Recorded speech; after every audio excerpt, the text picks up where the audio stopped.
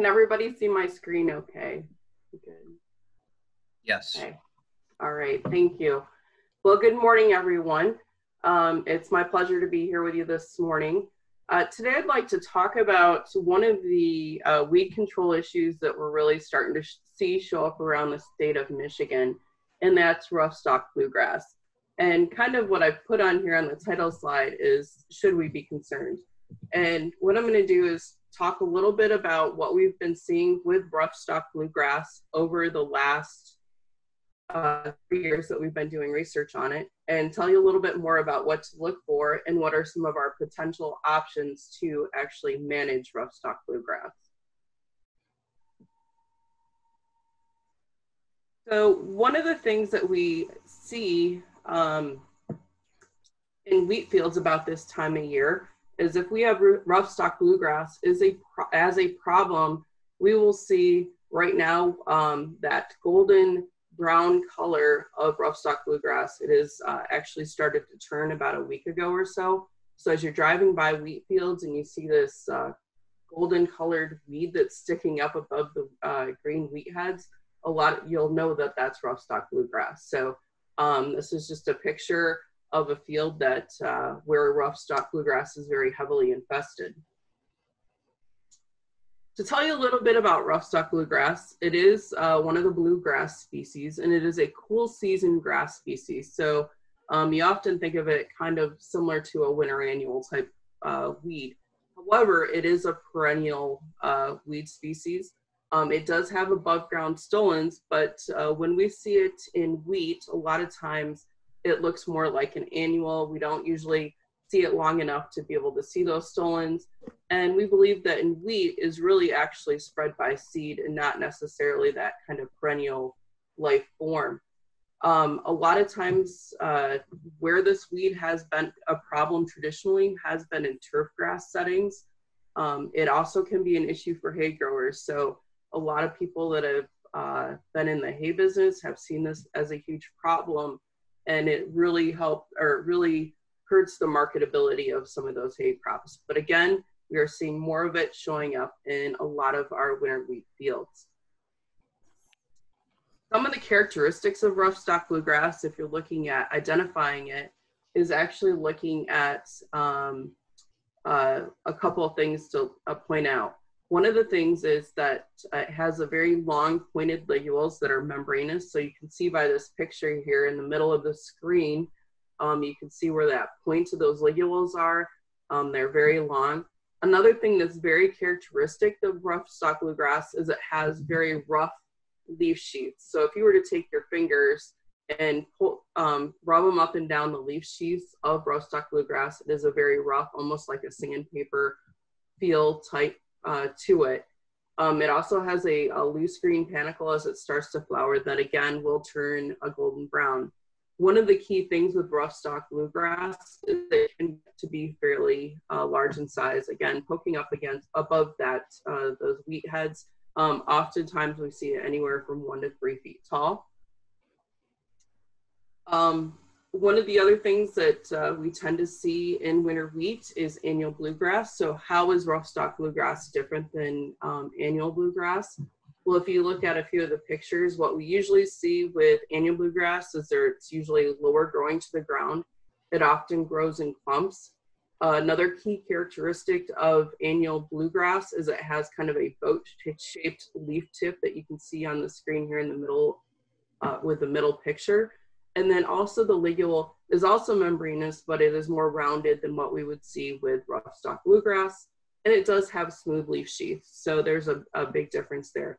The other thing is, is annual bluegrass does not um, tend to get to the size that we see with rough stalk bluegrass. Generally, we see it anywhere from three to 12 inches tall. So fairly short, fairly clumpy.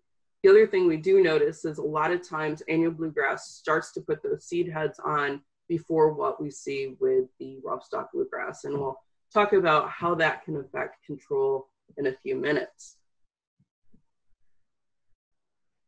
Um, one of the things that we've done is because we didn't really know much about rough stalk bluegrass is try to track its emergence and growth through the season. So we've done this over the last three years. And one of the things that we have seen is a lot of times rough stalk bluegrass tends to be a fall emerging weed species. So a lot of times we'll see it coming up about the same time as winter wheat. However, unlike some of our other uh, grass species, for example, uh, common windgrass, we do see some spring emergence, and that can actually um, help change some of the management techniques that we'll look at. And I'll talk to you about how that might affect. So primarily comes up in the fall, but we do see some spring emergence of rough stalk bluegrass. Once it comes up and once um, the weather starts to warm up a little bit, it rapidly progresses through its life cycle. So here are some pictures that I took this year. Um, you can see on April 18th, even with the cool weather that we had this year, uh, rough stalk bluegrass was actively growing. You can see it was about uh, uh, three to four inches tall on April 18th. And by April 27th, we were getting quite a bit of uh, growth on that rough stalk bluegrass. Um, and in general, over the last three years, we've tended to see that it starts to head out between the first and third weeks of May. So here's a picture from this year. Um, on May 6th, you can start to see the uh, seed head of rough stalk bluegrass coming through. Um, and at this time, we really start to see a huge decrease in the activity of many of the herbicides that we can use. And we'll talk about um, how that actually affects control. Um, about one to two weeks later, uh, we tend to see full flower of rough, rough stalk bluegrass. So we're, we're talking the last part of May. So in general, by this time, um, control measures, um, if they haven't been implemented, um, we're probably not going to have very many options to control it this year. And then usually one to two weeks later, we tend to see um, a golden color turning of rough stalk bluegrass, and that's at maturity. And that usually occurs in the first or second week of June. So um, on June 2nd, we were uh, doing some uh, flyover pictures of our plots. The rough stalk bluegrass was still green, and then basically by the seventh that had to, turned a golden brown. So we're usually starting to see about this time period where we'll see that golden color from bluegrass. So should we be concerned about rough stalk bluegrass? Well, in many of the fields that we've seen with this weed, it is um, a very prevalent weed species at very high densities. And when we've done some yield work, we've seen that we can reduce, uh, rough stalk bluegrass can actually reduce yield by up to 50%. So it is a big concern. So it's one of those things that we need to plan on um, if it is in your area or in some of your fields to make sure that we have good control of this weed. So what are some of the things that we can do to control rough stalk bluegrass?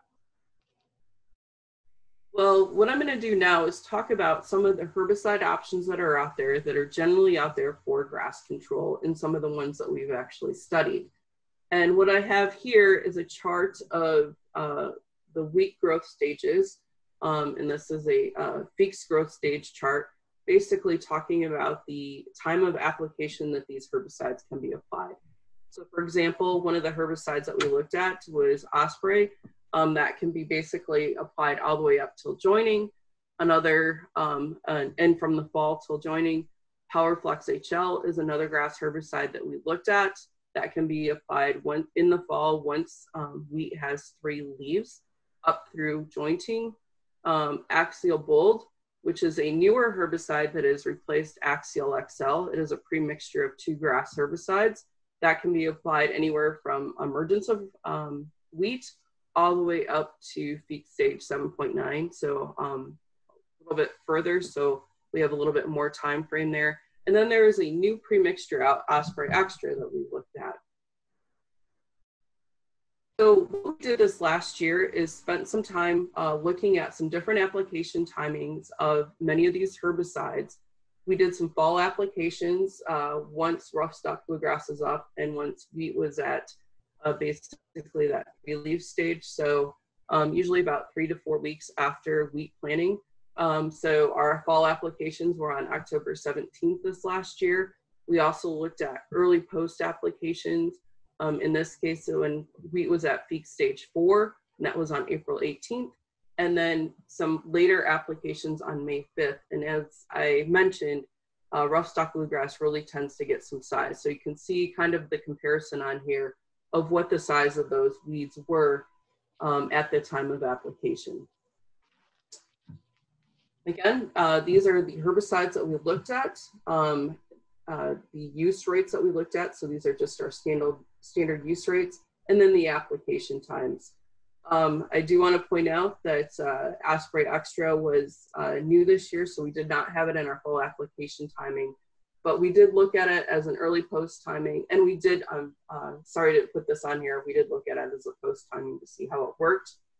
When we look at these weed or these different herbicides, they are mostly targeting grass weed control. However, the herbicides PowerFlex HL and Osprey Extra can give us some broadleaf weed control particularly weeds um, like common chickweed. Um, both of the weeds or the components in there are group two herbicides. So when we looked at all these herbicides, we looked at them alone and we also tank mixed them with Husky to help pick up some other broadleaf weed control. And then we looked at Osprey and Axial Bold um, also with the herbicide Talinor. So uh, here are some overview shots of some of our plots and just want to talk to you about um, what these look like. You can see um, we've got um, our trial here and you can see that kind of lighter green color and that is the rough stalk bluegrass growing up um, above the wheat. Um, these are our fall applications. Our aerial images were taken on June 2nd. Um, you can see where our untreateds are that are highlighted here in red. Um, our Husky application, which would be a primarily a broadleaf herbicide. This is an early spring application. Um, and you can see that it doesn't have activity on uh, rough stock bluegrass control, but we put it in there as kind of a check to see uh, if we would see any control or to see if we would see any more injury when we tank mixed Husky with some of our uh, grass herbicides. Um, the blue boxes here show Osprey, and we actually had fairly decent control from our fall applications. Here's kind of a close-up of looking at um, what a broadleaf herbicide versus Osprey in the fall look like. Um, it's not 100%. Again, remember I said we do have some spring emergence, so it's um, not going to control it completely, but it can reduce that population quite a bit. And we had about 85% control with Osprey. Um, with the other fall applications, we did see some uh, control with axial bold. We had about 70% control. Those are the purple boxes that we see here. And our poorest control was with uh, PowerFlex. And you can see where there is some of the rough stalk bluegrass showing up above um, that wheat canopy. Next, we're going to talk about our early spring results. And you can see here again our application timing um, and we have our untreated and husky applications highlighted here. And we'll compare some of these um, other herbicides to those. So Osprey, we had very good control from our early spring applications. Again, that was um, April 18th when rough stalk bluegrass was two to four inches tall. We had really good control again with Osprey Extra and then Axial Bold. So all three of these um, alone and then with Husky, so we did the tank mixes. We didn't see any decreases in um, grass control. And then obviously we picked up broadleaf weed control with the Husky. And we saw that rough stalk bluegrass control was greater than 90% with all these applications. So here's just a few pictures uh, depicting that. So Husky alone, Osprey plus Husky in the upper um, right corner, the lower left corner, Axial Bold plus Husky, and then Osprey Extra plus Husky um, in the lower right hand corner. Um, so we're having uh, really good luck with all three of these herbicides in controlling rough stalk bluegrass. Um, with our PowerFlex uh, applications, we did see some lower control um, alone and with Husky, and control generally was about 75%. So we were able to reduce those populations, but not to the extent of what we saw with the other uh, herbicides. Um, our late spring results, remember that's those applications that occurred when wheat was at Feekes stage five on May 5th. And um, our approximate rough stalk bluegrass height was about 10 inches tall. So it was starting to, the uh, seed heads were starting to come out of rough stalk bluegrass. So we did see some lower control and we have these kind of different boxes depicting those colors. And in general, control about 21 days after treatment was around 65 to 70% with all the different herbicides. So um, those later applications um, are generally not going to provide great control. Uh, they may set rough stalk bluegrass back, but it's best to get in there with those early applications.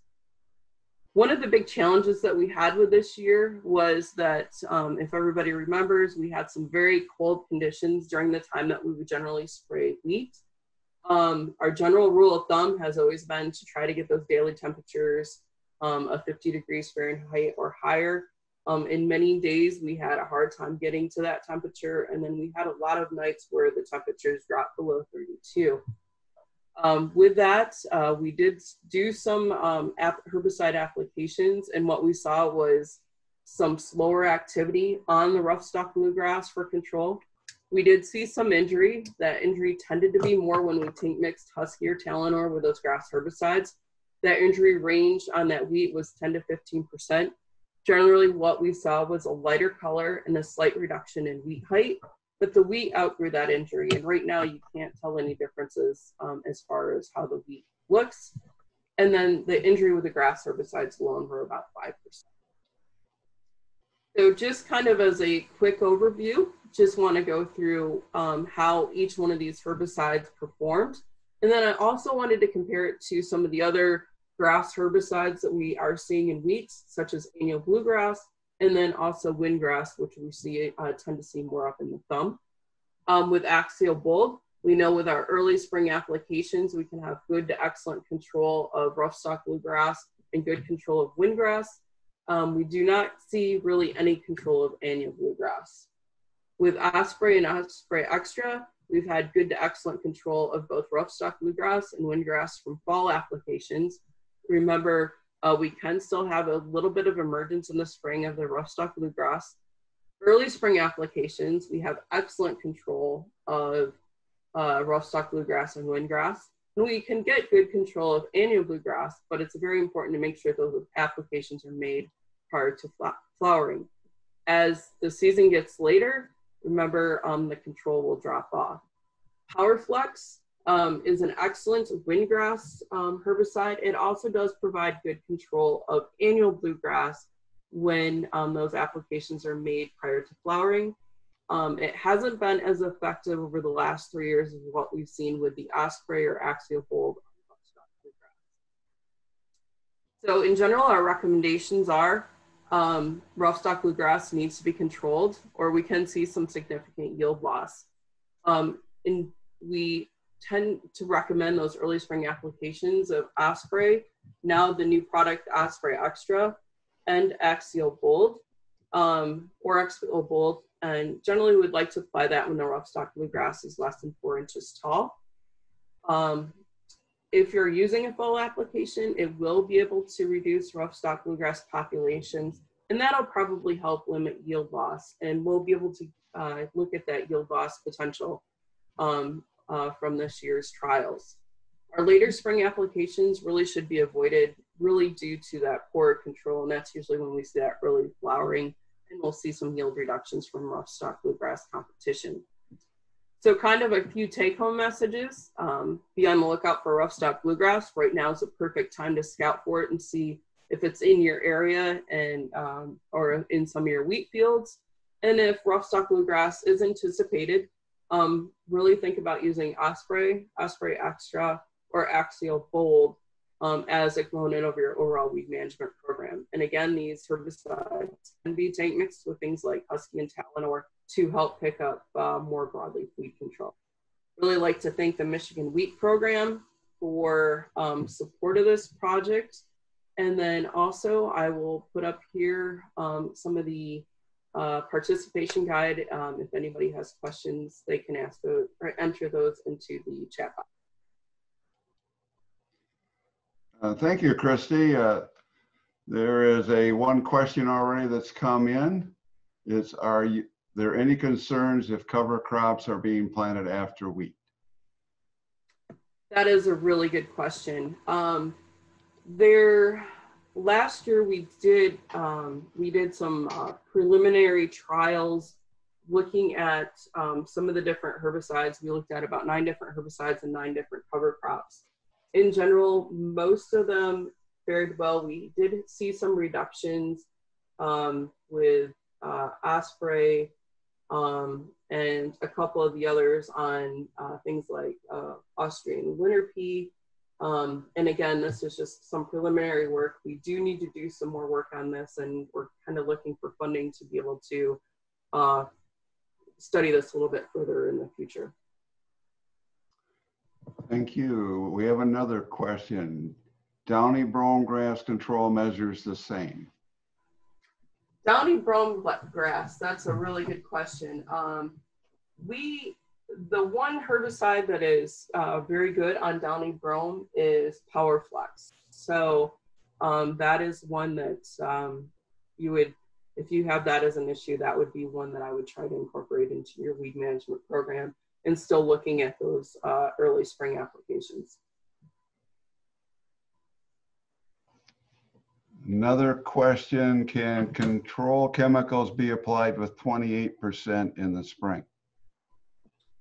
Um, we had done some work on this and in general, we had um, good results if we did kind of a 50-50 mix, 50% uh, of the 28% um, UAN versus with water versus 100%. When we do 100%, we tend to see a lot more burn in some cases, and we've got these recommendations in the weed guide, you may want to cut back on your uh, surfactant load uh, to um, minimize that.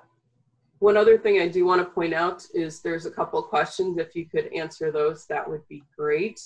Um, and then if you are seeing rough stalk bluegrass, if you could just include what county you're from in the chat box, that'll give us a good air, um, an idea of where rough stalk bluegrass is showing up around the state of Michigan.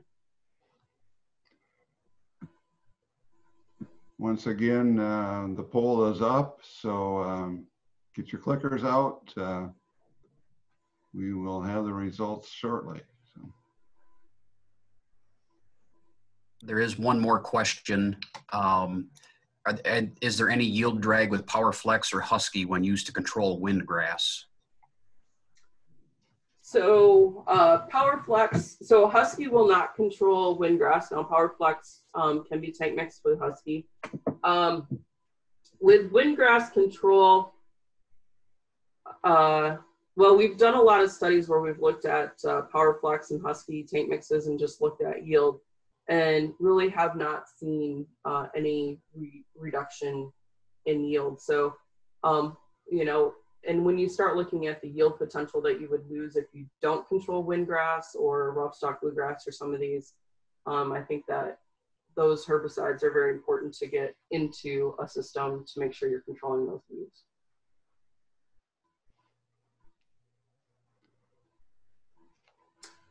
Okay, so we have um, some growers that have seen rough stalk bluegrass, so about 36%. And then a lot of it is on a low percentage of acres. So uh, thank you for um, answering that poll. That's great. And um, I think from there, Dave, we'll go ahead and turn it back over to you to announce the next speaker, and I will uh, stop sharing.